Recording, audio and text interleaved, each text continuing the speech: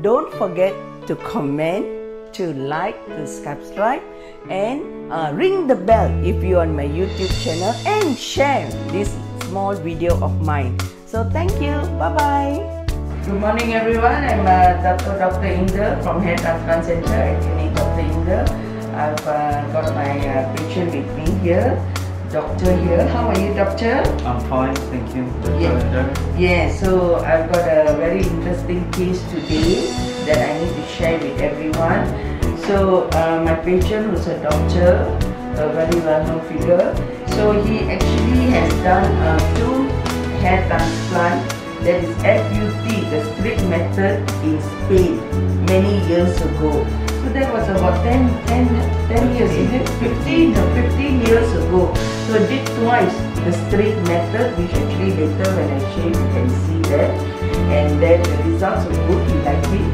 And then again he went for another uh, hair transplant and that was a FU, FUE. FU.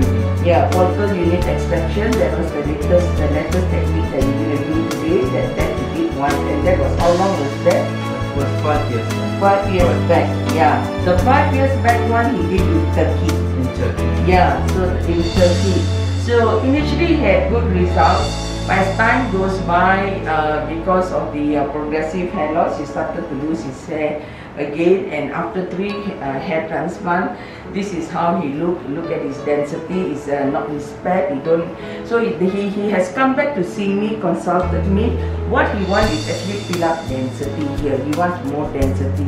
So in fact, he's even done scalp micropigmentation. One of the ways to actually um, give him more density. So after having a long uh, consultation with me a few days ago, we then I decided that I will go for another FUE for him using the bag as a donor area.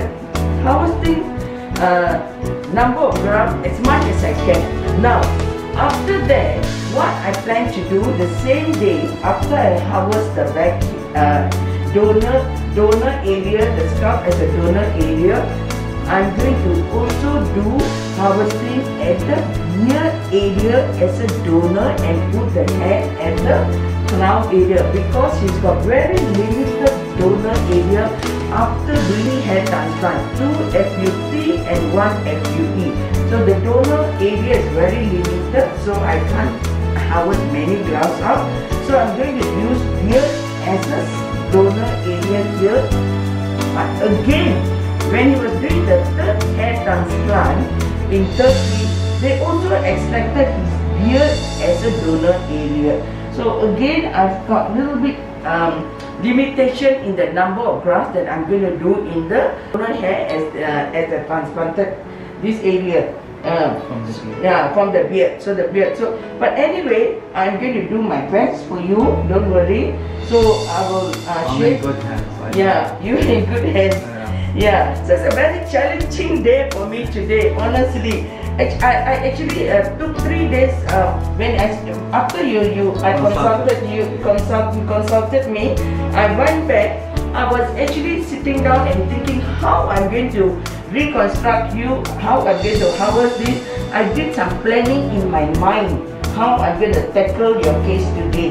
So I'm all prepared for your case today. And I am excited too because I've been waiting to see how much grafts I can harvest from your scalp and how much hair I can harvest from your beard area. Okay? So the hair that I harvest from the back of your scalp, I'm going to put it in the front here so that it look more natural and the hair that I harvest from the beard area, I'm going to fill up density at the crown area. Alright?